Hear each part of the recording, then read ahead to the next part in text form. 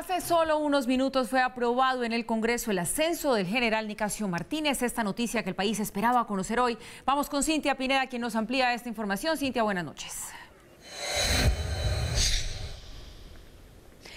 Paula, buenas noches. Pues luego de una discusión de cerca de dos horas, la plenaria del Senado de la República aprobó los ascensos de los 13 generales que promovía el Ministerio de Defensa y como usted ya lo ha dicho, eh, allí se encontraba el ascenso del actual comandante del ejército, el general Nicasio Martínez, cuestionado en los últimos días por esa directriz en la que supuestamente ordenaba a sus hombres redoblar las bajas en combate. En total fueron 64 votos a favor y uno en contra para que ascendiera el eh, general Nicasio Martínez, una votación arrolladora. Llamó bastante la atención que al inicio de la votación allí en la plenaria del Senado de la República, pues eh, el partido FARC dejó una constancia respaldando a las fuerzas militares. Escuchemos lo que dijo al respecto el senador Iván Gallo.